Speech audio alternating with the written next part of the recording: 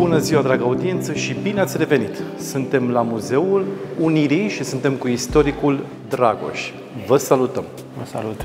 Ce vedem în acest muzeu? Da, ați venit în să zic așa, în epicentrul poveștii românilor din Ardeal, al ardelenilor, pentru că suntem în Sala Unirii, da? locul unde la 1 decembrie 1918 s-a decis unirea Transilvaniei cu România și locul unde în fiecare an de ziua națională de 1 decembrie transmisiile TV și atenția publicului revine, nu pentru că sărbătorim, de aici începe sărbătorirea zilei, zilei naționale. Și o să vă invit să descoperim împreună povestea sălii și a expoziției uh, muzeului. Întâi de toate, Sala pe care o vedem, varianta aceasta a sălii, sala în forma actuală, e cea restaurată în 2018 cu ocazia centenarului Unirii, restaurare care a reactualizat sala, a adus sala la forma din 1922, când sala a fost amenajată cu ocazia sărbărilor încoronării. Știm, în 1922, în 15 octombrie, aici au fost încoronați regii Ferdinand și Maria în uh, Alba Iulia, în Catedrala Încoronării, iar aici a avut loc dineul regal. Astfel, trebuie să ne imaginăm că sala la 1918, în 1918 era diferită. Era mult mai mare, fără aceste două arcade, da, arcadele laterale. Aici era un balcon, da, ne putem să ne imaginăm, deasupra ușii. da, deasupra ușii mare, ca un, un balcon destul de mare în zona asta. Deci sala era Pentru mult că mai se încăpătoare. termina clădirea aici. Uh, nu, clădirea se termina acolo, de acolo începe balconul. Deci tot, toată incinta asta a fost refăcută în 1922 cu ocazia sărbărilor încoronării. Sala, deci clădirea în ansamblu, numită casină militară, a fost construită pe la 1899-1900, drept sala armatei, sală de ceremonii, a regimentului 50 infanterie, aici în cetate, rezida regimentul austriac 50 infanterie, iar clădirea din fața sălii, actualul sediu al Muzeului Unirii, era garnizoana ofițerilor, unde stăteau ofițerii, aici era sala de ceremonii. Ea a fost aleasă ca loc al adunării naționale pentru că era cea mai încăpătoare sală din oraș la acel moment. Da, povestea Unirii o știm, se prăbușește Austro-Ungaria la sfârșitul războiului și românii ardeleni au șansa să-și ia soarta în propriile mâini, decid că trebuie să facă o adunare națională, au ales Alba Iulia, deși orașul nu era în prim planul luptei politice naționale, la momentul era un oraș foarte mic, undeva la 10.000 de locuitori, Blajul, Aradu, Sibiu, Brașov erau orașe mai importante, dar au ales Alba Iulia datorită memoriei lui Mihai Viteazu, nu cel care la 1600 pentru prima dată unise pe românii din cele trei țări. Și atunci vin la Alba Iulia, se convoacă adunarea și a fost aleasă, așa cum am zis, Sala Unirii, pentru că era sa, casina militară se chema atunci, după acel moment s-a numit Sala Unirii, pentru că era cea mai încăpătoare din oraș.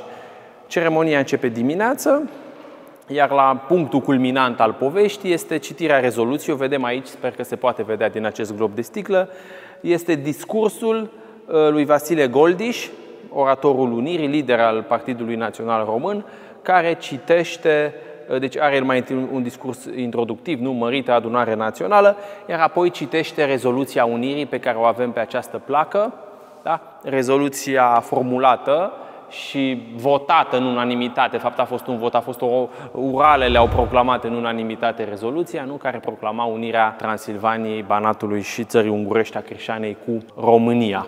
Da? Asta este povestea zilei de 1 decembrie. Ce mai vedem în sală? Așa cum am zis, în 1922, aici, în Sala Unirii, a avut loc dineul regal după ceremonia încoronării. Undeva în zona asta era masa regală, erau regii Ferdinand și Maria, capete coronate ale Europei, prim-miniștri, reprezentanți diplomatici ai aliaților României și la încoronare a venit prințul Albert, tatăl reginei Elisabeta viitorul rege George al VI-lea, cel care ajunge rege în 36-37, dar el a venit la încoronarea regilor Ferdinand și Maria. Nu? Ca poveste, așa, peste timp, regina a murit cât acum 2 ani, în 2022, când am și celebrat centenarul, centenarul încoronării. Ce vedem aici sunt două arcade cu domnitori, pictate de Pierre Bele, un pictor francez, stătea în România la Galați, lista de domnitori aleasă, a fost aleasă de Iorga atunci, no, așa a fost împodobită sala. Din păcate, odată cu venirea comuniștilor, sala a fost mai intrat în dosare de degradare, mai întâi a fost ocupată de armata sovietică, după aia au lăsat-o așa în paragină și de-abia în anii 60 revine la muzeu. Cei care ați mai fost în Alba Iulia, dacă vă amintiți, înainte de 2018, arăta diferit sala, picturile erau diferite și cumva incinta nu, nu era cea de astăzi. Ce mai vedem aici, foarte important, avem Cartea de Aur a Sărbărilor Unirii, evident după momentul Unirii și al încoronării, Toate marile ceremonii dedicate sărbării Unirii au avut loc în Sala Unirii și aici e mai este această carte a sărbărilor din 29, când au fost sărbate, sărbată Unirea. Nu, atunci Mihai era uh, rege, domnea sub regență, nu pentru că avea doar câțiva anișori, 8 ani de zile. Nu, și vedem Regina Maria, vin cu toții la Alba Iulia, avem fotografii de atunci și semnează uh, familia regală și liderii politici, iar dincolo avem cartea de aur a centenarului, făcută nu în tot ideea asta de a reitera povestea din 29 și personalitățile momentului să semneze în, uh, în Cartea Centenarului. Ce mai avem în sală? În partea aceea e baldachinul în coronării, staurat, refăcut de colegii mei, o replică identică, uh, făcută de colegii mei de la muzeu, acum 2 ani, cu ocazia centenarului încoronării. Uh, baldachinul original, sub care s-au încoronat regii Ferdinand și Maria, în fața catedralei încoronării, sunt imagini de atunci. A fost distrus, din păcate, în perioada interbelică, a fost un incendiu la uh, Muzeul Militar, a fost distrus, dar pe baza imaginilor și a descrierilor din epocă e o reproducere fidelă a baldachinului în coronării. Vedem stemele uh, provinciilor românești, toate, uh, toate însemnele heraldice ale casei regale și în 2022 sub el a avut uh, loc o spunem noi reenactment, o, o acțiune de reconstituire a încoronării regilor Ferdinand și Maria. O să vă invit să vedem împreună mai departe expoziția de bază de la sală, vernisată de curând, de curând, acum jumătate de an, Uh, la 1 decembrie 2023, când se împlineau 105 ani de la unire și expoziția se concentrează evident în jurul poveștii uh, zile de 1 decembrie și ce a urmat apoi până la încoronare. Deci, cumva este segmentul cuprins între toamna lui 1918 și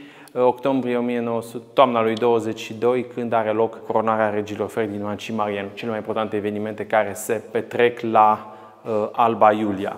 Așa cum am povestit, no, se termină războiul și o să vedem aici primul pas după prăbușirea monarhiei austro-ungare al românilor ardeleni. A fost citirea uh, declarației de independență, de autodeterminare de către Vaida Voievod în Parlamentul maghiar, în Parlamentul de la Budapesta, în 18 uh, octombrie 1918 și atunci începe povestea, cumva lucrurile intră în, uh, în linie dreaptă și o să vedem aici biroul lui Aurel Lazar, biroul pe care a fost redactată declarația de independență, citită de Vaida Voievod, am zis, în Parlamentul, în Parlamentul Maghiar. Acest birou, Aurel Lazar a fost unul din liderii Partidului Național Român, membru al Consiliului Național Român Central, acea, acel organism politic al românilor adeleni, cel care a condus procesul unirii. El a fost donat de familie cu ocazia semicentenarului în 1968 iar dincoace avem două clișee pe sticlă de la Viena,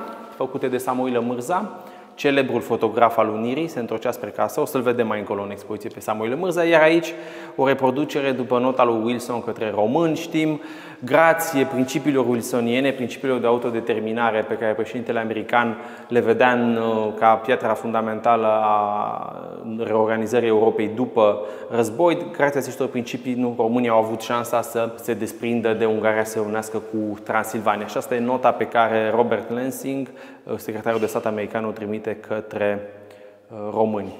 Haideți să mergem să descoperim povestea lui Samoil Mârza. Aici sunt um, fragmente din presa epocii. Deja în 20 noiembrie 1918 se anunța că urmează o adunare națională. Aici sunt unirile Bucovine, știm, a avut loc înainte de uh, cea a Transilvaniei și aici vedem adunarea națională și apoi proclamarea unirii în presa, uh, în presa. Vedem aici telegraful român, ziarul Mitropoliei de la Sibiu. Și ajungem la ziua de 1 decembrie. Două teme majore avem aici în, în această parte a expoziției. Întâi de toate, adunarea națională a fost posibilă și datorită gărzii naționale de la Alba Iulia. Sunt acei soldați români din armata austro-ungară întorși de pe front, și ei fac, să zicem, un ultim sacrificiu, nu se întorc la familie și intră voluntar în aceste gărzi naționale, care erau un fel de miliție, jandarmerie locală care trebuiau să asigure cât de cât securitatea și ordinea în provincie. Imperiul se prăbușise și nu mai era nicio autoritate.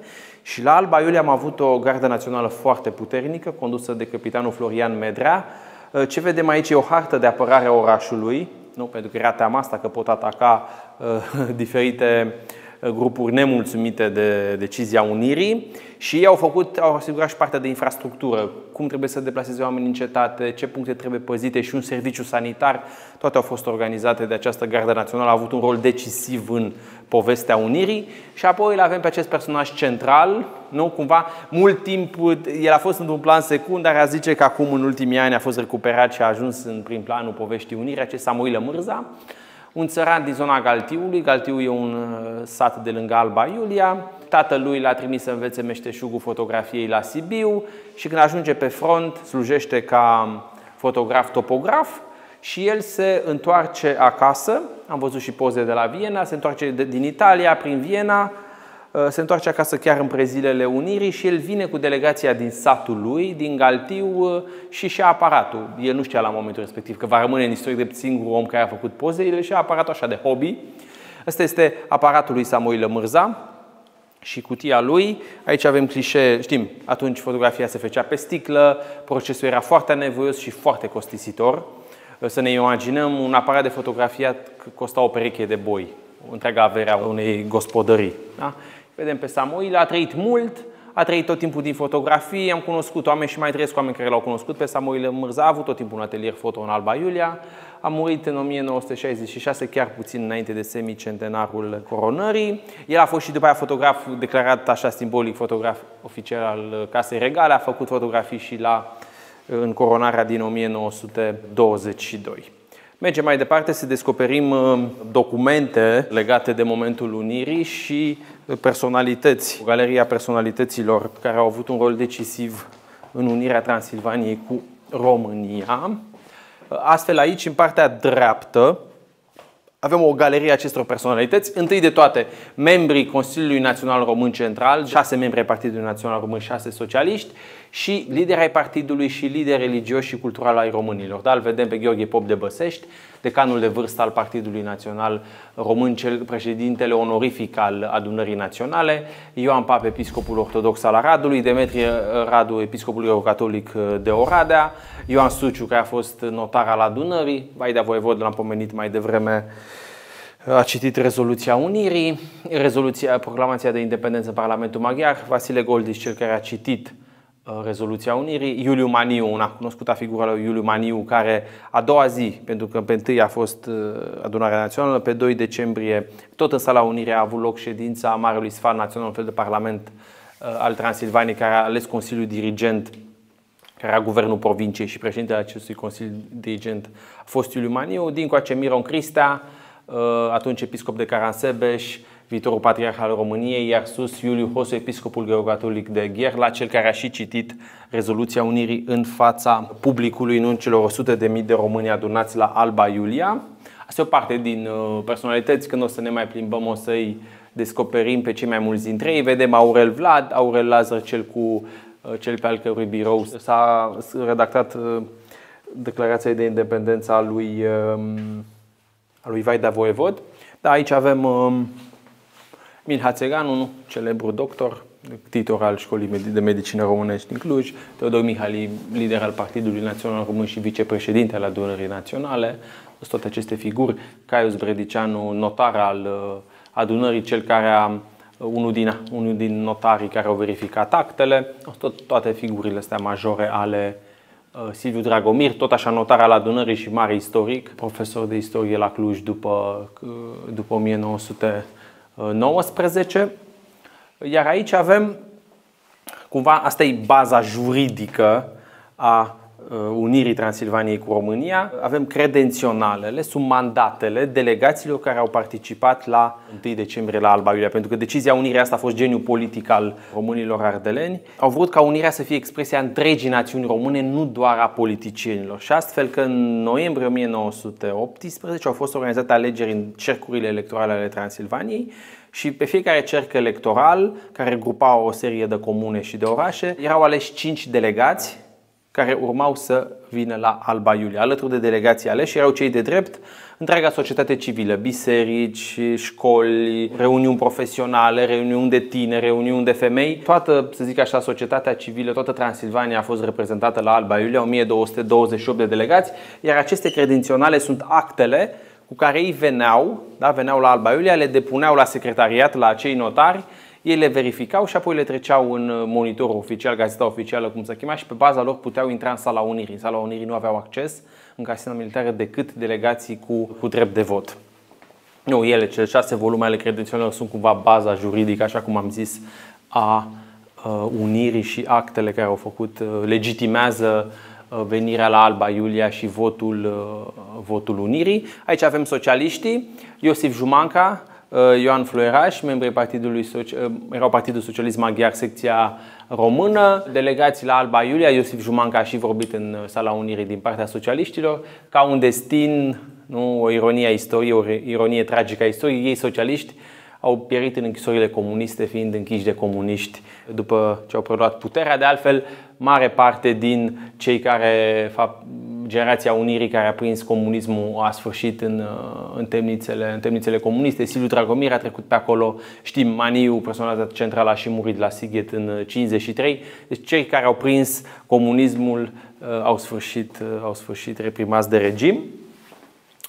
Aici avem Camil Velican, cel din tâi primar român al Alba Iulia, ales chiar atunci. Aici e zona dedicată Alba Iulienilor. Îl vedem pe Justinian Teculescu, protopopul ortodox, președintele Consiliului Național Român din Alba Iulia. Va ajunge apoi episcop al armatei, o poză cu el episcop al armatei.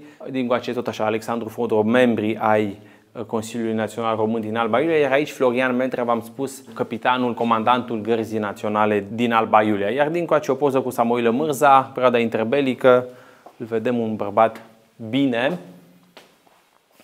Iar sus e Dominic Medra, fratele lui Florian Medra, era doctor și el s-a ocupat de organizarea serviciului sanitar în ziua de 1 decembrie la Alba Iulia. Nu erau peste 100.000 de români veniți, aveau nevoie de, îi zice astăzi, murd servicii medicale pentru a organiza așa cum se cuvine adunarea. Și acum o să mergem în secțiunea dedicată perioadei de după unire, momentelor de după Uh, ziua de 1, 1 uh, decembrie. Vedem aici o fotografie foarte frumoasă, una din poate cele mai frumoase fotografii. E delegația Unirii, evident, care s-a dus la București să ducă actul Unirii regilor Ferdinand și Maria. Ca un detaliu nu lipsit de simbolism, tot la 1 decembrie, când la Alba Iulia se decidea unirea Transilvaniei cu România, Casa Regală și guvernul se întroceau din uh, exilul în Moldova. Tot atunci, știm, primul război mondial, guvernul și Casa Regală s-au retras în Moldova și tot în 1 decembrie 1918 intră în București. Și aici vedem, la jumătatea lunii decembrie, o delegație pleacă de la Sibiu, acolo era sediul Consiliului Dirigent, Guvernul Provizor al Transilvaniei, și în 14, 14 decembrie ajunge la București. Îl vedem pe Vasile Goldiș, cel care a citit rezoluția Unirii, Alexandru Vaida Voivod, Caius Bredicianu era secretarul delegației și cei doi episcopi români, Niron Criste, episcopul ortodox de Caransebe și Iuliu Hosu, episcopul catolic de uh, Gherla. E o ceremonie simbolică, atunci îi primește e cuvântarea simbolică a lui Ice Brătianu, Ionel Brătianu, prim-ministru României, care spune v-am așteptat de o mie de ani, ați venit ca să nu mai plecați niciodată. Sunt uh, dineuri festive, date de, așa cum am zis, de Consiliul de Miniștri, de Casa Regală. Tot legat de Casa Regală, avem, uh, înainte de a ajunge la Casa Regală, aici prima vizită a regilor Ferdinand și Maria în Transilvania și în Alba Iulia. Suntem în primăvara lui 1919, când uh, guvernul și regii vin să cunoască noua provincie. E un itinerariu care pornește de la Oradea, și de acolo vine spre Cluj, Turda, prin munții Apuseni, Câmpeni, uh, Abruz, Latna, Alba Iulia și aici vedem trecând prin șanțurile cetății. Da? Poarta a șasea, a cincea intrând prin șanțurile cetății și aici vedem președintele Consiliului Dirigent Iuliu Maniu, da? aici e Ștefan Ciciopop și regii Ferdinand și Maria și țărani uh, Alba Iulien, ducând, să zic așa, onorul lor regilor.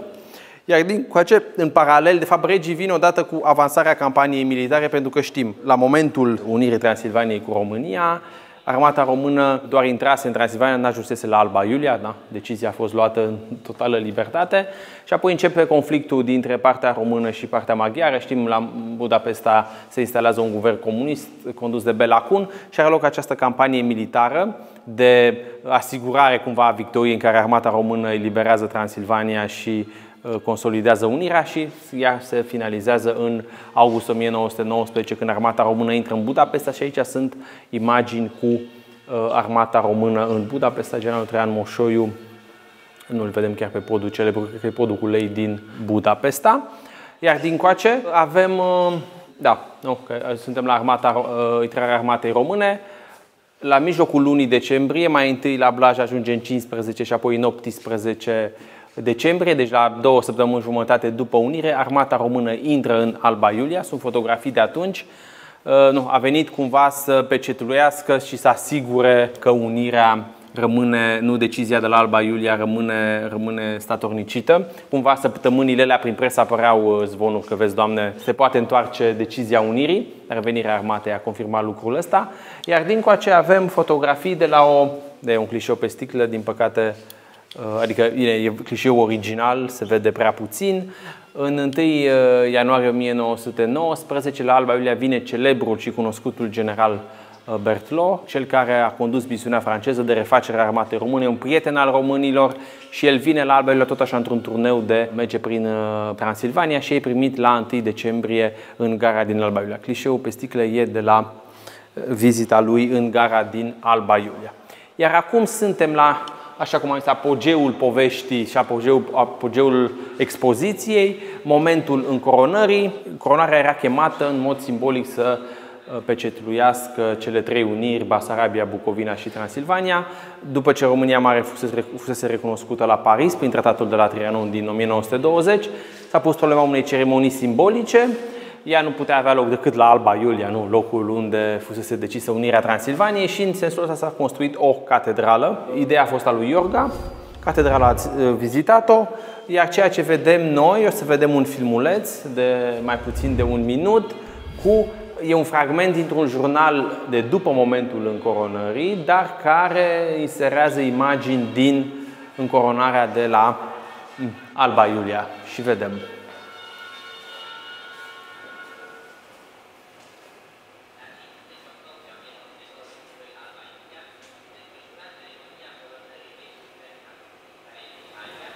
Vedem catedrala, baldachinul.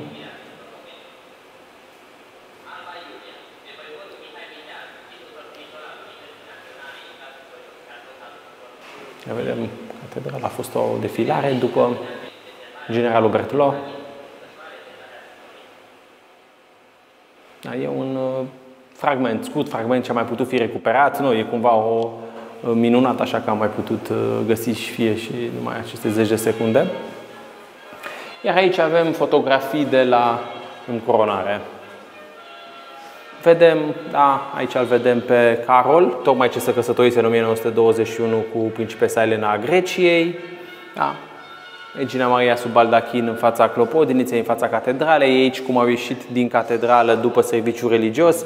Vedem pe Miron Cristea, pe atunci mitropolit primat, Carol, viitorul rege Carol al II-lea, principele Carol, Maria Ferdinand, aici e de la defilare, că după eveniment în fața catedralei acum sunt șanț, uh, blocurile acolo, nu erau evident, era un câmp și în fața lui au defilat. Aici vedem baldachinul, v-am zis, reconstituit fidel de către colegii mei cu ocazia uh, centenarului încoronării. Aici îl vedem pe Brătianu, pe atunci prim-ministru, care îl așteaptă pe rege la sosirea în catedrală. Ionel Brătianu și regele Ferdinand. Și aici alaiul de episcopi, ah, toată ceremonia încoronării. Iar aici avem uh, invitații de la încoronare, imnul încoronării și distribuția locurilor în sala Unirii. Da, vedem sala, distribuția locurilor la mese în sala Unirii. Cel care primea invitația primea și locul unde urma să servească la dineul regal. Acum spre ieșire, tot așa o să mai vedem fotografii de la coronare, de la sărbările Unirii, Alba Iulia, în perioada interbelică, acoperă această parte. Da, aici sunt de la sărbările Unirii, din 1929. Erau la 10 ani, dar de fapt sunt la 10 ani jumătate, că de politica era și atunci ca în toate vremurile. În decembrie 1928, când trebuiau să aibă loc să, să plineau 10 ani de la Unire, au fost alegeri și n-au putut face atunci și au mutat în mai 1900 1920. În 29, atunci în 1929, Muzeul Alba Iulian, Muzeul Alba Iulian are o istorie de 136 de ani, făcut în 1888, ca muzeu de antichități și de științe naturale. În 29 devine Muzeul Unirii, și primul lui sediu ca Muzeu al Unirii în incinta catedralei. Aici vedem uh, familia regală trecând prin fața actualului Muzeu al Unirii, atunci era pavilionul ofițerilor. Îi vedem, da, cum trec. Aici cum intră în sala Unirii și recunoaștem sala. Da? Maria, Ferdinand murise în 27, da, cu toții trec. Uitați-l pe regele Mihai Tânăr, avea 8 ani de zile, mai puțin de 8 ani de zile. Aici e prințul uh, Nicolae, partea regenței, regina mamă Elena și, evident, regina Regina Maria.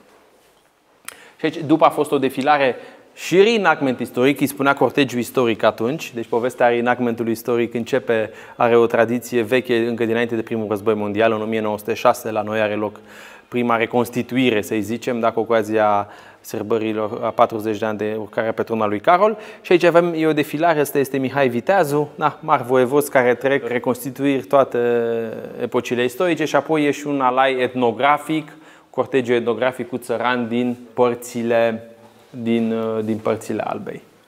Toate astea s-au întâmplat pe platoul din fața catedralei, evident. Nu erau blocuri atunci, nu era nimic construit, erau, uh, era un câmp de instrucție al armatei. Da? Și vedem aici regina mamă Elena și uh, regele, regele, regele Mihai. Bine, îți mulțumim pentru și eu vă mulțumesc pentru vizită. acest tur și veniți, vedeți. Da, e datoria fiecăruia dintre noi, nu să vină cel puțin odată la Alba Iulia, locul de unde începe povestea României mari. Da.